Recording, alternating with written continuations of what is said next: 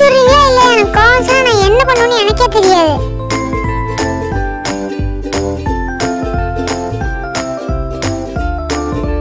மிரட்டினா தான் நம்மளை பார்த்து பயந்துக்கிட்டு அவுத்து விடுறாங்க.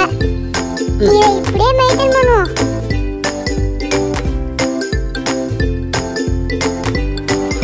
நீங்க கூட வேலை போனா நம்ம மிச்சு சட்னி வைக்கிறவங்க நமக்கு எதுக்கு வம்பு.